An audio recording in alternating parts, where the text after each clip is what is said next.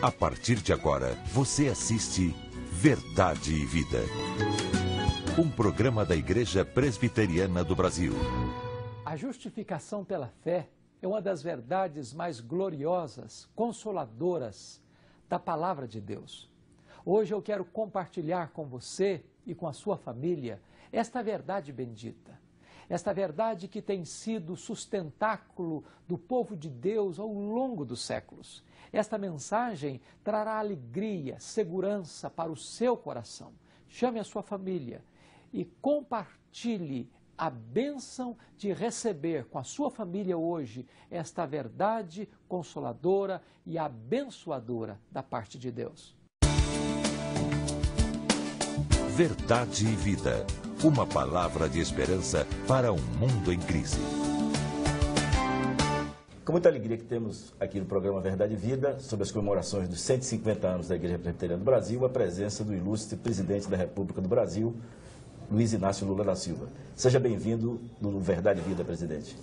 Olha, Daniel, para mim é um prazer imenso participar dos 150 anos da Igreja Presbiteriana no Brasil, ah, ah, sabendo que ah, quando completou 100 anos, Juscelino veio aqui e 50 anos depois eu sou o primeiro presidente da República participar dessas comemorações.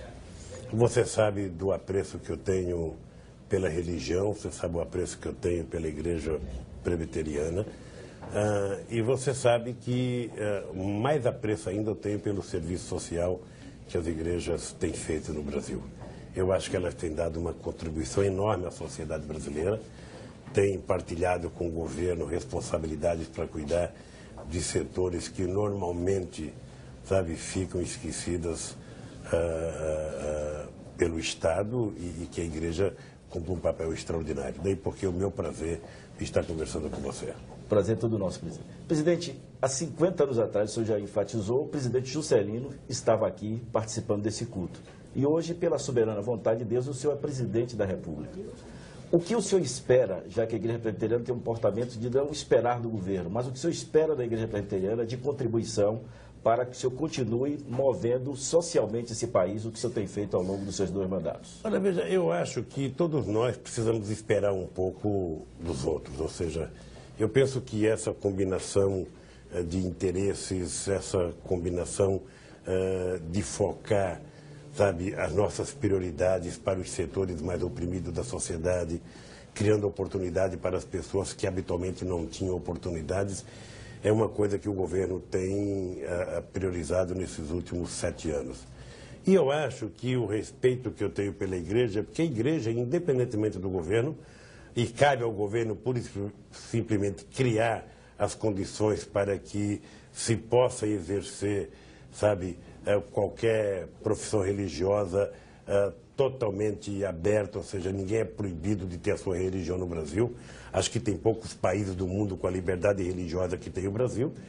E eu fico feliz porque eu acho que as igrejas, independentemente do que o Estado faça, as igrejas têm um papel importante. Ou seja, as igrejas têm um papel extraordinário para cuidar de crianças, a igreja tem um papel extraordinário para cuidar de pessoas portadoras de deficiência, de pessoas da terceira idade. Ah, as igrejas têm investimento muito forte em educação, ah, muitas vezes em hospitais. Eu acho que tudo isso é uma combinação de um pouco daquilo que o governo faz com um pouco daquilo que as igrejas fazem no Brasil. E isso me permite dizer a você que eu olho com entusiasmo o futuro no curto prazo do nosso país. O senhor falou aí, o senhor é a favor do Estado laico? Eu sou a favor, não, o Brasil é um Estado laico. E eu fiz questão de dizer isso uh, aqui no meu pronunciamento. Uh, disse isso quando tive com o Papa, para dizer claramente que o Brasil é um Estado laico. Senhor presidente, o senhor falou, enfatizou na sua fala sobre a responsabilidade familiar. Qual o seu conceito sobre família e o que o senhor espera das famílias brasileiras na solução dos graves problemas sociais pelos quais vivemos e o senhor tem enfrentado com muitas medidas sociais? Olha, eu, eu falo muito pela experiência de vida que eu tive. Eu, eu, eu sou filho uh, de uma família que teve 12 filhos, quatro morreram, oito ficaram vivos. Uh, eu tinha sete anos de idade, oito anos, quando minha mãe se separou do meu pai e minha mãe criou praticamente os oito filhos sozinhos. Ou seja, e minha mãe conseguiu criar oito filhos que todos viraram trabalhadores, todos constituíram família e eu virei presidente da República. Isso demonstra que não é só a pobreza que leva a pessoa a um processo de desagregação. Muitas vezes, em consequência dos problemas sociais, a família entra num processo de desagregação é marido que bate na mulher, é mulher que não trata bem os filhos, é às vezes o álcool, é às vezes a droga que faz com que crianças saiam de casa, com que não haja respeito. E tudo isso causa uma coisa muito grave na sociedade, porque tudo, o resultado de tudo isso é desagregação, violência, droga, bebida, uh, eu diria, uh, às vezes morte. Quando, no fundo, no fundo, se a família tiver harmonicamente vivendo bem, ou seja, tudo vai bem. Eu, eu acho que nós, eu digo para meus filhos sempre isso, digo, olha, se cada família estiver vivendo harmonicamente, cada pai e mãe cuidar dos seus, a chance de uma criança virar vítima de um atentado na rua é muito menor. A chance de uma criança cair no crime, na droga, é muito menor se houver o abraço fraternal do pai ou da mãe cotidianamente. Se a gente conversar com nossos filhos, se a gente descobrir quais são as angústias deles, nós estaremos contribuindo de forma decisiva para que a família viva harmonicamente aí o mundo viverá muito mais em paz do que vive com a estrutura de desagregação. Finalizando nossa entrevista, o senhor enfatizou alguns índices pelos quais o senhor se orgulha e dificilmente será batido por um próximo presidente, quer na área da educação, quer na área social. O que o senhor espera fazer mais no final do seu governo em prol do social no nosso país? Não, o que eu espero, na verdade, é concluir tudo que já está planejado, porque não, não dá para a gente pensar uma obra nova e começar ela agora. Eu, em fevereiro do próximo ano, de 2010, eu estarei elaborando um novo PAC de 2011 a 2015 para poder planejar o Brasil, colocar verba no orçamento para que quem vier depois de mim pegue, sabe, as coisas já organizadas, projetos prontos e dinheiro disponibilizado no orçamento. Na verdade, a coisa mais importante que eu vejo nisso tudo é o seguinte: uh, poderá vir outro presidente uh, e fazer muito mais do que eu. Por quê? Porque o paradigma de quem entrar depois de mim é um outro paradigma, ou seja, não é o paradigma da distância do Estado dos problemas da sociedade, mas é o paradigma do Estado umbilicalmente ligado sabe, o governo federal aos governos estaduais, aos governos municipais, governo federal, governo estadual, governos municipais, umbilicalmente ligado aos problemas sociais, fazendo intervenções, sabe, com políticas públicas nos bairros mais pobres de cada cidade. Então, quem vier depois vai pegar o Brasil num patamar mais alto e ele tem possibilidade de fazer mais. É isso que eu torço. Na verdade, o que eu torço é para que quem vier depois de mim faça o dobro de mim e quem vier depois daquele que veio depois de mim, faça o dobro do outro, porque assim a gente pode, em 15 ou 20 anos, ter o Brasil numa posição extraordinária de desenvolvimento. Presidente, eu queria encerrar só no hino que nós cantamos, dissemos, ao presidente, ó Deus, inspira lá dos céus o teu amor, que possa bem cumprir o seu mandato e ouvir de todo o povo aqui real louvor.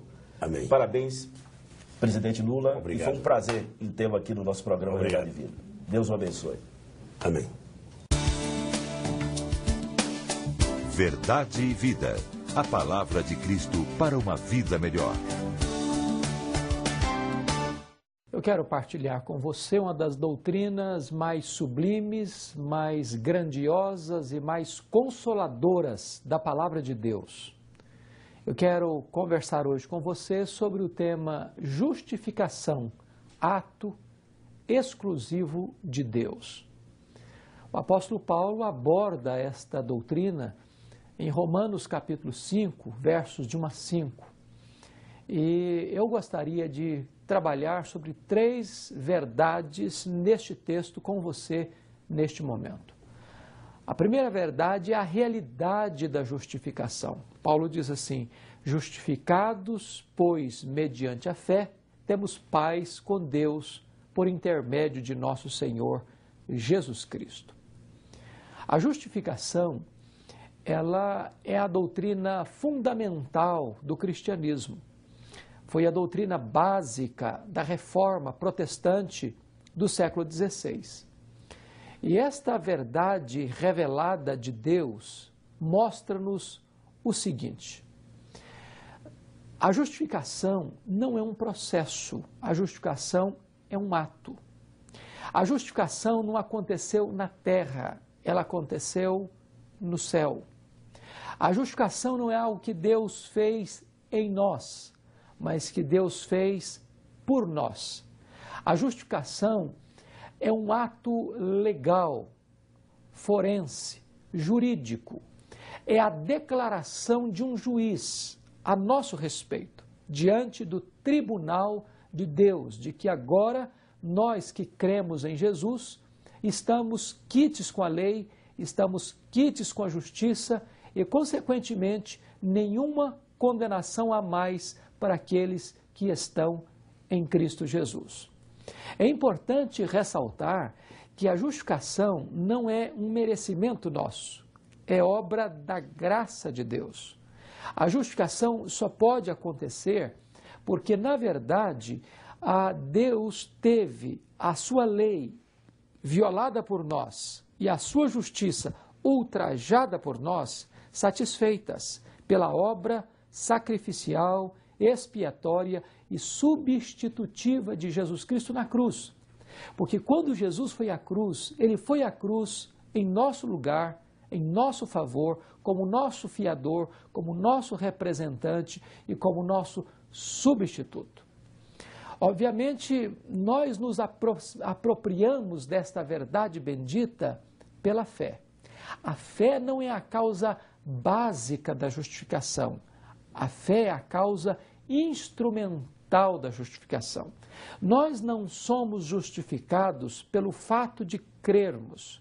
Nós somos justificados pela obra de Cristo na cruz. Mas esta obra de Cristo na cruz, por nós, nós tomamos posse dela por meio da fé. Então, essa é a primeira verdade que eu quero partilhar com você: é a realidade da justificação. Claro que nós somos justificados porque Cristo morreu por nós, porque Ele pagou a nossa dívida. Nós tínhamos o pecado, mas a culpa do nosso pecado estava sobre Jesus. Ele foi feito pecado por nós, ele foi feito maldição por nós e ele morreu por nós. E agora, portanto, nós somos perdoados, nós somos justificados por causa da obra de Cristo em nosso favor. A segunda verdade que eu gostaria de conversar com você sobre este texto são os frutos da justificação. Paulo diz: Justificados, pois, mediante a fé, temos paz com Deus. O primeiro fruto da justificação é que agora você tem paz com Deus. O que isso significa? Significa que agora você não é mais filho da ira mas você agora é filho amado de Deus. Mudou seu status diante de Deus. Antes você estava debaixo da ira de Deus, você estava debaixo do pecado, debaixo da condenação. Mas agora, uma vez que Cristo morreu por você, você agora foi reconciliado com Deus. Você foi aproximado de Deus. E a barreira que separava você de Deus foi quebrada. Portanto, você agora tem total acesso à presença de Deus, você está na bênção da comunhão, da reconciliação e da intimidade com Deus por meio do sangue de Jesus.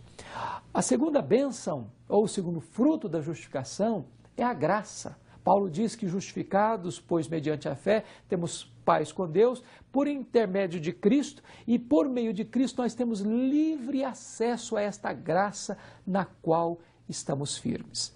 A paz com Deus é um fato passado, quando você foi reconciliado com Deus, mas o acesso à graça é um fato presente e contínuo. Agora significa que você tem acesso a essa graça, você tem livre entrada ao palácio do rei, à sala do trono do rei, você tem comunhão com o Rei dos Reis por meio de Jesus Cristo.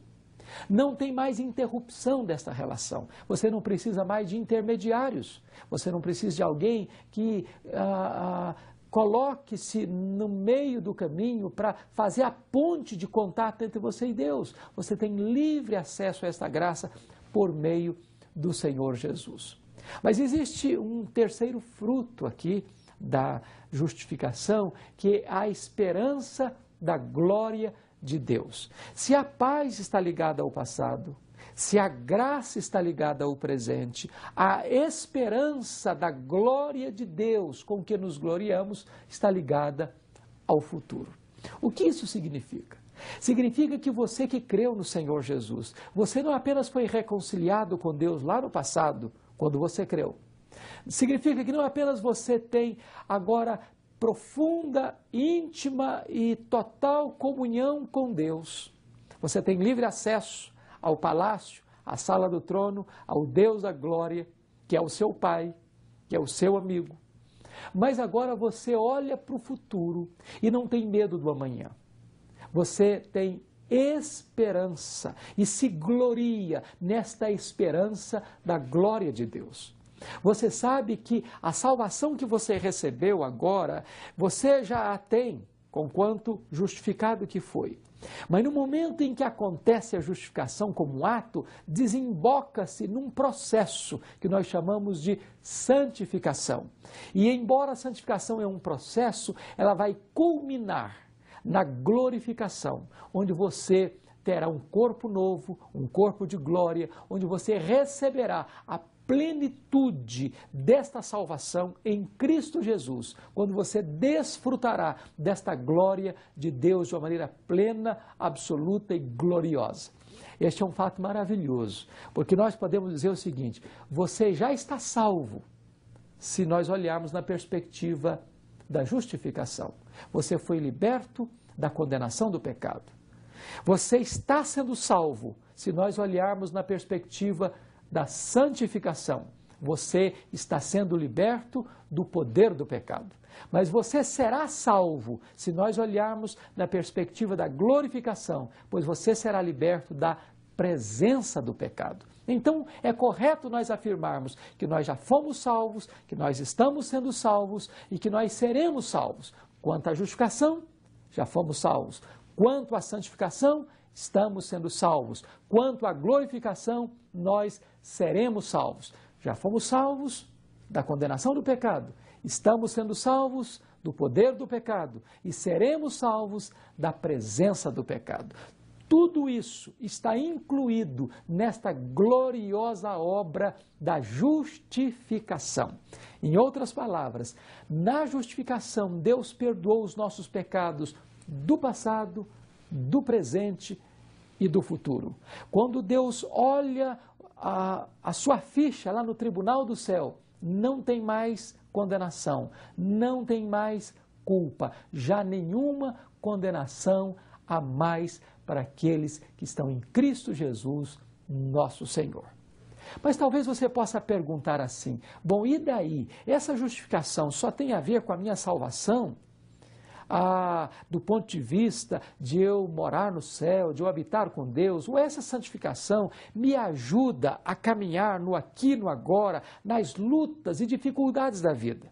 Aí Paulo responde assim: Nós não nos gloriamos apenas na esperança da glória de Deus, mas nós também nos gloriamos nas próprias tribulações, sabendo que a tribulação produz perseverança, a perseverança produz experiência, e a, e a experiência produz esperança, e a esperança não confunde, porque o amor de Deus é derramado nos nossos corações pelo Espírito Santo. Note você uma coisa maravilhosa. Paulo não está dizendo que nós somos masoquistas, que nós temos prazer em sofrer. É claro que ele não está dizendo isso. Então, por que Paulo diz que nós nos, glori nos gloriamos nas próprias tribulações? Não nas tribulações em si, mas pelos resultados e frutos das tribulações. Quando você é pressionado na vida, quando as lutas chegam, quando as provas acontecem, quando o sofrimento vem, este sofrimento vai produzir em você, que é justificado, a perseverança. A palavra perseverança traz a ideia de uma paciência triunfadora. Não é aquele tipo de paciência do estoico, que trinca os dentes e aguenta firme o problema, estoicamente, heroicamente. Não, não é isso. É aquela capacidade de você passar pelo problema, não murmurando, não reclamando, não se rebelando contra Deus, mas você passar pelo problema, mesmo nas noites mais escuras, glorificando a Deus. Porque, na verdade, você entende que, mesmo nas lutas mais intensas e nos vales mais sombrios, é Deus quem está no controle da sua vida. E Deus não desperdiça sofrimento na vida dos seus filhos. Quando Deus permite você passar por uma situação difícil, é porque Ele está trabalhando em você ele está forjando em você, formando em você o caráter de Jesus Cristo. Se Jesus aprendeu pelas coisas que sofreu, Deus está esculpindo em nós a beleza de Jesus, o caráter de Jesus, até que nós cheguemos à varonilidade do varão perfeito, que é Jesus. E aí Paulo diz: a perseverança produz experiência.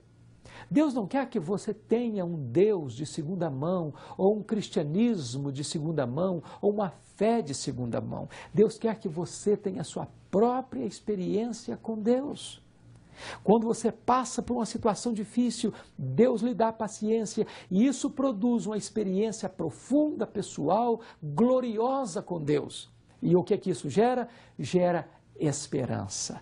Essa esperança não é uma vaga expectativa. Esta esperança é segura, é firme, é sólida, porque o amor de Deus é derramado nos nossos corações pelo Espírito. Isso significa o seguinte: muitas pessoas, quando passam pelo vale da dor, começam a murmurar, azedam a alma, se revoltam contra Deus, murmuram contra Deus. Mas quando você que é justificado passa por essas mesmas provas, você não endurece o coração.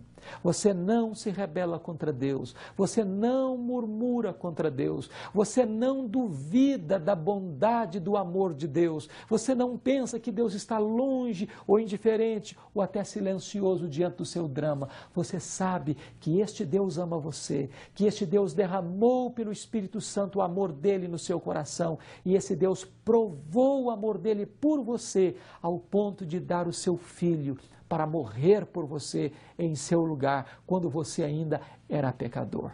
A justificação é uma verdade bendita que traz segurança, que traz alegria, que traz deleite para a sua alma.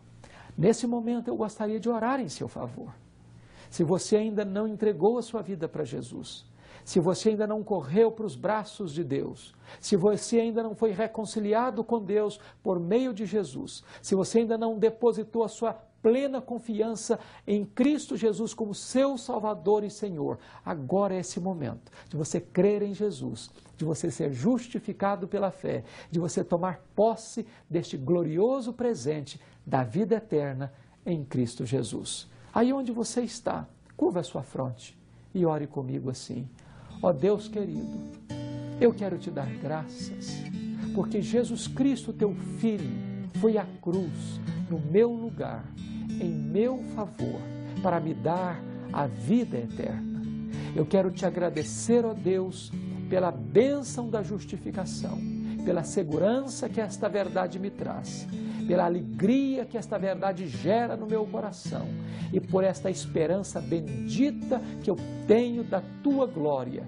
E eu quero te agradecer, ó Deus, porque Jesus Cristo agora pode trazer para a minha vida o dom da salvação, o presente da vida eterna, a garantia do teu perdão e da tua aceitação. Louvado seja o teu nome por esta grande bênção, em nome de Jesus. Amém. Eu sou o caminho, e a verdade e a vida. Ninguém vem ao Pai senão por mim. Na mensagem de hoje, o reverendo Hernandes fez uma exposição baseada em Romanos capítulo 5, versos de 1 a 5, com o tema Justificação, ato exclusivo de Deus, onde abordou três pontos. O primeiro, a realidade da justificação mostrando que a justificação é um ato e não um processo. Sim, é um ato declaratório de Deus por nós e não uma obra em nós. É um ato forense, legal, jurídico que acontece no tribunal de Deus e não uma ação em nosso coração. Segundo, falou sobre os frutos da justificação. paz com Deus quanto ao passado, graça quanto ao presente e glória quanto ao futuro. Terceiro, finalizou falando sobre a pedagogia da justificação. A justificação nos capacita a enfrentar o sofrimento com alegria, não pelo sofrimento em si, mas pelo que ele produz em nós. A tribulação produz perseverança, perseverança, experiência e experiência, esperança.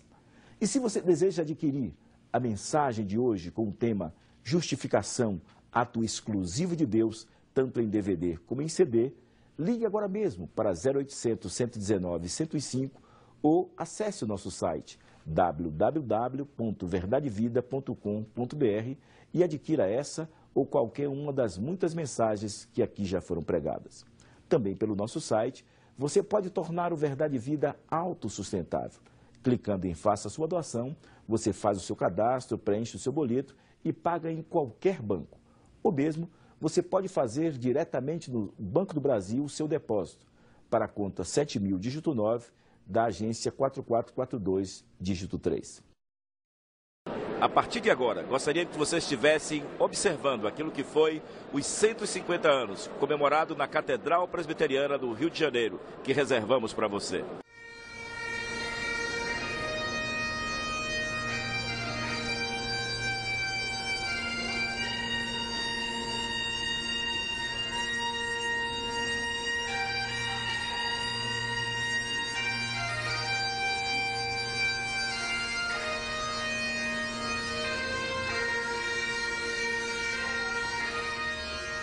Igreja Presbiteriana do Brasil, 12 de agosto de 2009, 150 anos de bênçãos. A sua súplica e a sua oração deve ser sempre esta: derrame sobre nós o teu Espírito.